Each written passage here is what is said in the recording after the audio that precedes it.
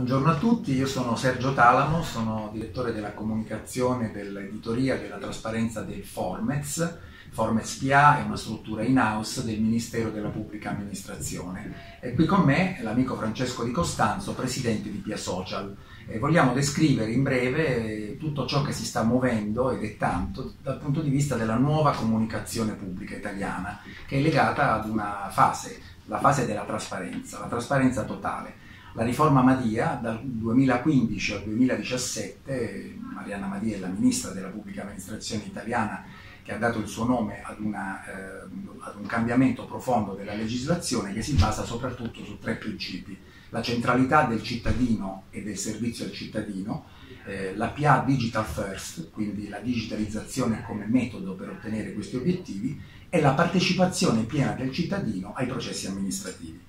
Questo tipo di impostazione è sfociato in una legge che è stata definita il Freedom of Information Act italiano, il FOIA italiano, eh, che è una legge che praticamente dà la possibilità ad ogni cittadino di accedere a qualsiasi atto della pubblica amministrazione, escluse delle eccezioni precise e catalogate. Siamo nell'era quindi della casa di vetro, della trasparenza totale. Non solo, il Ministero della Pubblica Amministrazione ha precisato che la PA deve avere un dialogo cooperativo col cittadino, cioè nel senso che deve arrivare con lui a, a definire quali siano uh, le modalità e gli obiettivi dell'accesso, deve pubblicare eh, tutto ciò che il cittadino può avere interesse eh, a,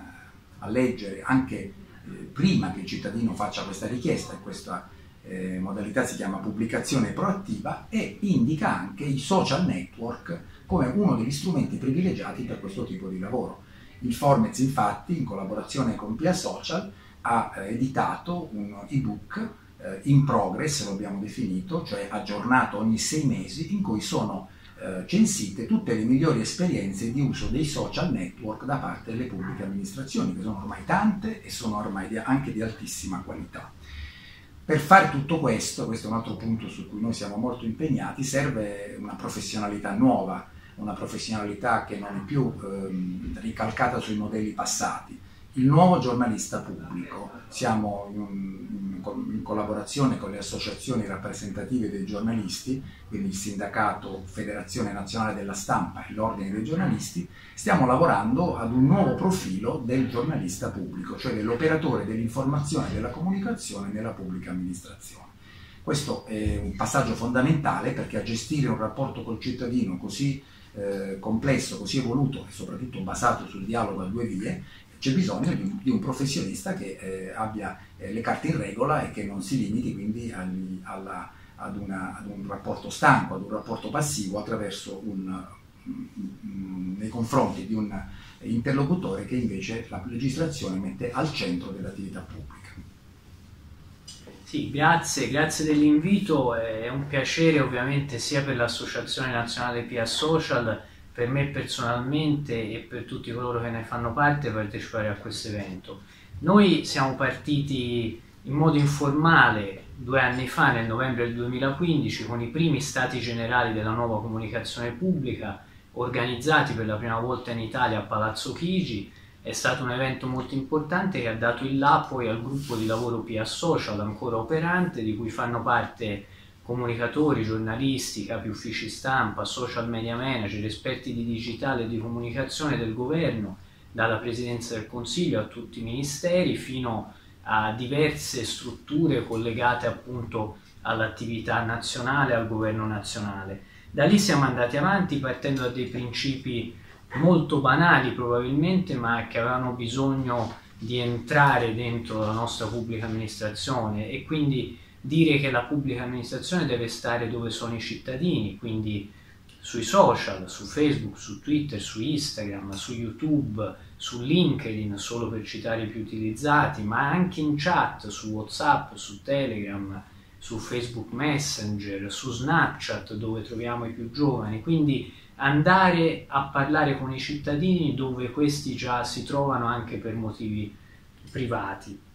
Poi abbiamo detto che non si chiede di essere esperti del web o guru della rete alla pubblica amministrazione, si chiede di essere punto di riferimento anche su questi strumenti per essere eh, come dire, sempre più vicini ai cittadini, così come dire che i social devono essere la normalità, la par- parte integrante dei piani di comunicazione pubblica. Il web e i social hanno cambiato tempi, modi, strumenti, linguaggi della nostra comunicazione. Come diceva Sergio, ci sono nuove professionalità che vanno riconosciute, quindi i social non sono un passatempo, ma sono uno straordinario strumento di servizio pubblico e un grande alleato anche delle smart city.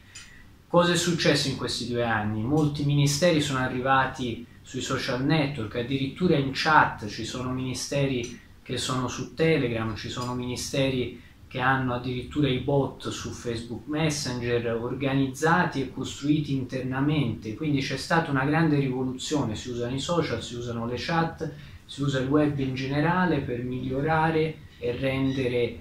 più immediato il rapporto con i cittadini e dare nuovi servizi. Noi abbiamo fatto un passo ulteriore e, e perché rimanere solo a livello di governo non era, come dire, l'obiettivo principale. Quindi abbiamo costituito un'associazione, la prima di questo genere, che è l'Associazione Nazionale PIA Social, che ha molti obiettivi, alcuni dei quali li ho già detti, riconoscere le nuove professionalità e creare e strutturare la più grande rete di nuova comunicazione a livello italiano e non solo. Oggi infatti potete andare sul nostro sito che è www.piasocial.info e su tutti i nostri profili social in chat e scoprirete che oggi la rete va oltre il governo, ci sono comuni, regioni, aziende pubbliche, musei, istituzioni di vario tipo, anche aziende private, cittadini, amministratori pubblici. Insomma, la rete è molto larga e colgo l'occasione